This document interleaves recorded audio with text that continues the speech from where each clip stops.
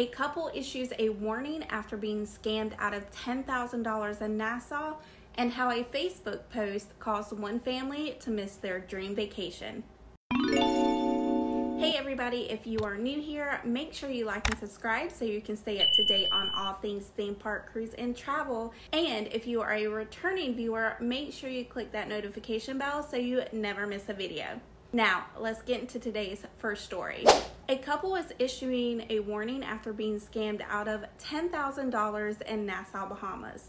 This couple was sailing on Royal Caribbean's Freedom of the Seas and made a stop over in Nassau, Bahamas.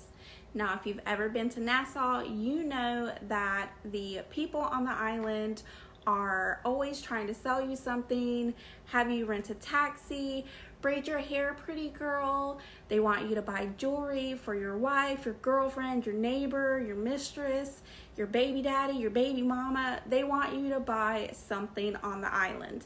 After all, this is how they make money. But this couple says that they were actually scammed. The couple alleges that they went into a shop in Nassau, Bahamas because they were offered a free massage. Now, if you know anything about traveling, nothing is free. This couple says that they were offered a free massage and they knew that they were going to be upsold and they were okay with that. The wife was offered a free 10 minute facial and the couple decided to take up the representative on their offer. And this is where everything went wrong. The couple says that they knew that they would be upsold, but they were pretty confident that they wouldn't spend anything that they didn't want to while in the shop. This is probably their biggest mistake. Salespeople in Nassau are some of the biggest and best salespeople you are going to come into contact with while traveling. This is their livelihood, and every sale they are dependent on, and they are going to do whatever it takes. Now, this doesn't mean that everyone on the islands that you visit are trying to scam you out of money or take advantage of you, but this is a cautionary tale, so it is something that you need to be aware of on your next vacation. This couple goes on to say that throughout their free facial process, they were also given free drinks and they ultimately decided to make a purchase totaling around $200. They go on to say that they were served even more drinks that were stronger and decided to make one more purchase before they left the shop. Once they got back to their ship, they realized that they had been charged more than $10,000 for their shopping experience on the island. The couple goes on to say that they tried to dispute their charges with Chase, but those charges were ultimately denied because they did receive goods, they did receive services, and they signed the receipt that said all sales are final the couple decided to file charges with the Florida Attorney General, which I'm not really sure why they did that, but that was ultimately refused as well because the state of Florida has no jurisdiction in the Bahamas, and this is where the purchase ultimately took place. So, my biggest takeaway from this and my best advice for you is to be aware of what you are doing you need to have a budget in place before you go on these islands and don't be suckered into buying something you really don't want. Let's be honest, they're not going to have anything in the Bahamas, Jamaica, Turks and Caicos, anywhere that you can travel that you can't get back in your home country. There are no miracle creams, serums, or facial treatments that you can get on vacation that you can't get back home. Personally, I do not spend any money when I go into port unless it's like a souvenir for a family member. My best advice is to take cash with you. That way, you know how much you're spending and know what your exchange rates are. It's not that hard to download an exchange calculator or even take a screenshot of an rate of exchange for the country that you're going to so you know exactly what you're spending and you can confirm if the person standing across the counter from you is telling you the correct prices. Before I get into my last video, let me quickly invite you to subscribe. If you like staying up to date on all things theme park cruise and travel, please consider subscribing with that notification bell on so you never miss a video.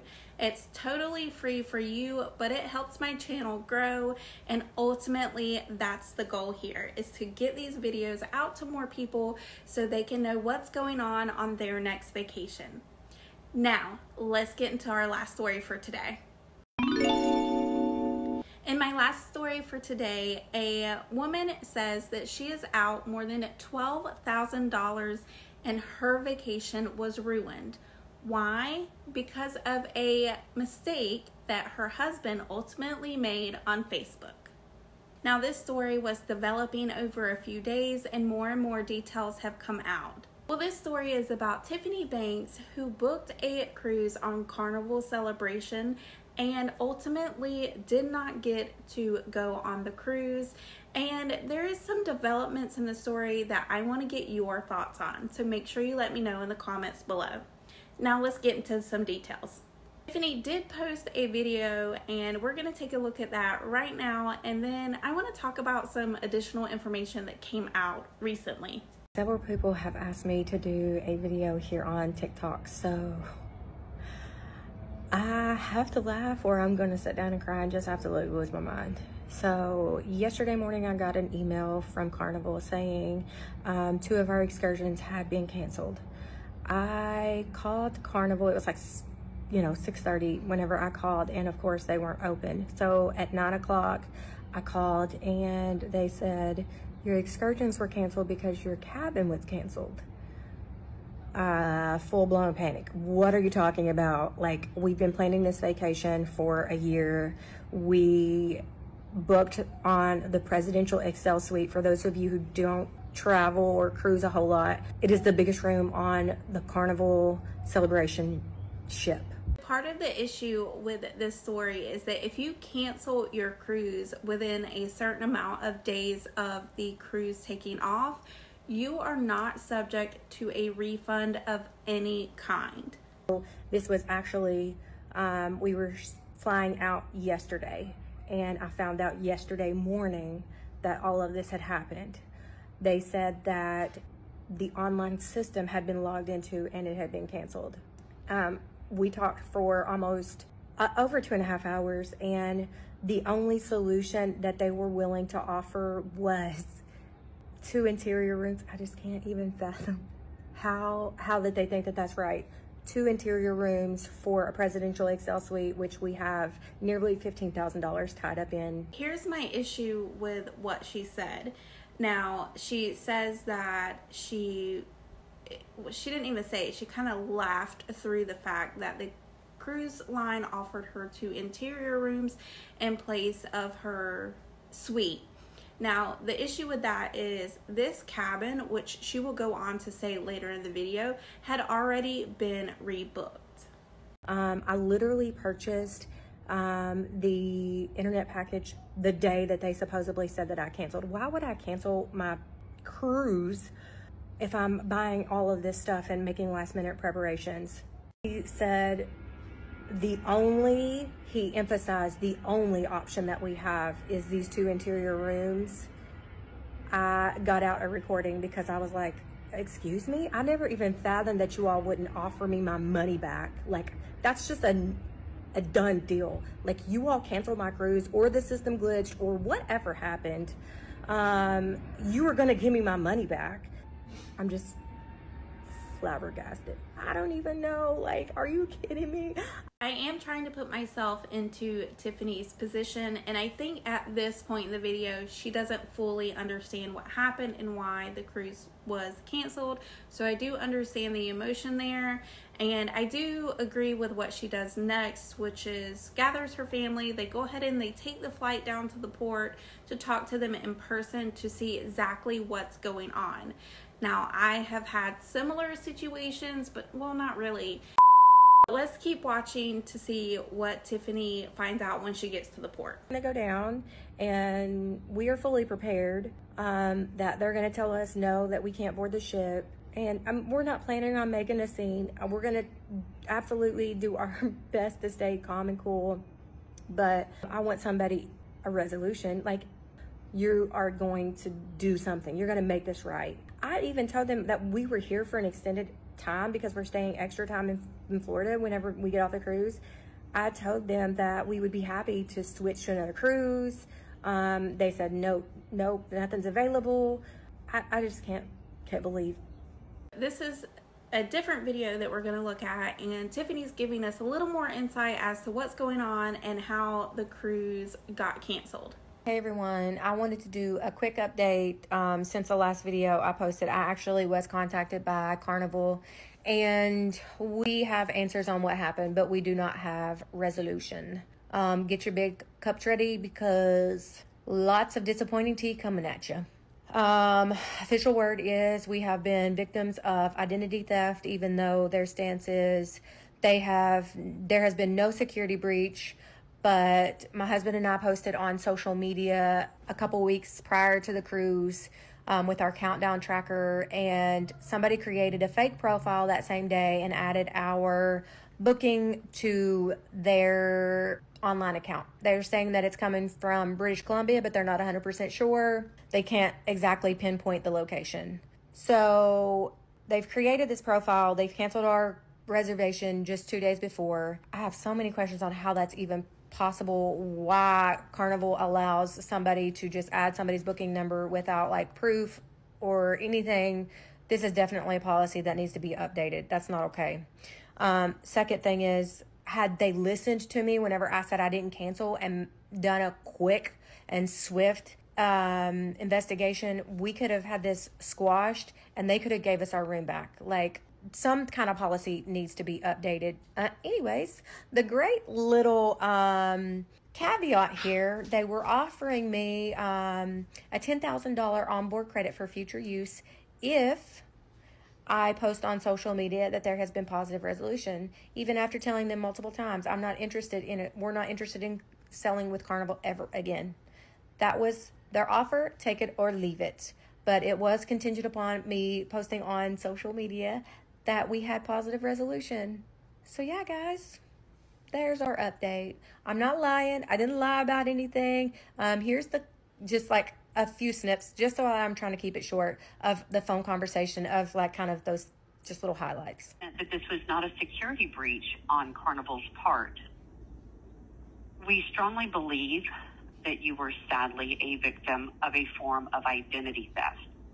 The the booking was added to a profile that was created on our website with the same day that the booking number was posted on Facebook. And while it was added to a profile that date, it was not canceled until approximately 48 hours before the and the credit is what we are prepared to offer of the 10,404. It would also be contingent on you posting something to the effect of that Carnival has now resolved the issue. A couple of things here. One, personally, uh, my husband and I briefly talked about this, and we both agreed that we would have taken the interior cabins with the $10,000 credit because essentially I'm still getting my vacation and I could potentially use that $10,000 credit to book that suite on a later voyage. But of course, that's my opinion. That's what my husband and I think would have been best for our family because at least we're still getting our vacation. Like I just said, we can use that credit to book that same suite potentially on a different vacation at a later time. But here's the one thing I do not like. I do not like that Carnival said that they would give that $10,000 credit on the contingency that this creator of this TikTok video says that there's a full resolution and Carnival basically took care of her, the customer. I don't agree with that. I don't like that. And I probably would have been a little offended if that was something that was stated to me as well. Now, if you're going to give the customer a credit, then just give the customer the credit. But again, that's my opinion. What do you guys think about this story? Let me know in the comments below but it gets even a little more complicated. So, there was recently an update about the booking information being put out onto social media. Now, Tiffany states that she posted a countdown for her vacation, but what she failed to realize or failed to mention is that her husband actually posted the actual booking number online.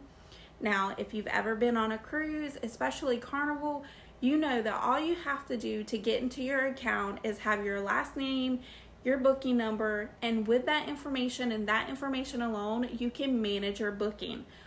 Ultimately, this mistake is what caused the person to go in there, go into their account, and cancel their booking for whatever reason they decided to just be nasty to this family and go in there and cancel their booking. Maybe they're jealous, maybe they don't like this family. There's really no good reason to do this to someone. Ultimately, the biggest takeaway is to never ever share your booking information on social media. Now, my husband tried to get me to go on cruises the first 10 years of our relationship, and I would never go. I never thought it was something I would care about. And then eventually, he got me to go on a cruise. Long story short, we went on probably five more cruises that year alone. And with all the excitement of going on my first cruise, I actually did also share a booking. I was so excited for my first cruise that I did something very similar to this family and I shared a vacation countdown but I just downloaded an app and I was able to share it to social media that way. Let this be a lesson to us all to make sure that we never share our booking information on social media. That is something that, unfortunately, with that little bit of information as well as your last name, can potentially lead to someone going into your cruise vacation planner and canceling your cruise and we don't want that to happen to anyone else and who knows, maybe cruise lines will come up with a better policy, but until they do, make sure you keep your information secured so this doesn't happen to you. That's going to be it for today's video. Thank you for hanging out with me.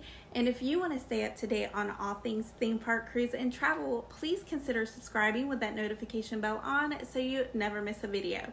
Until next time,